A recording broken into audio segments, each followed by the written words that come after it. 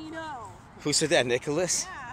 All right, we're at the big uh, soccer playoffs, ladies and gentlemen. Okay, what's up? Look at that, man. Nice flip flop. Lisa's goofing on my shoes, goofing on my. What else? Your double D's. Hey, those used to be muscle. man. Oh, that's what I'm thinking about too. Working out. I'm gonna get old and this is gonna. Yeah, you're gonna be like Arnold. I don't think I'm crazy. I'm the governor.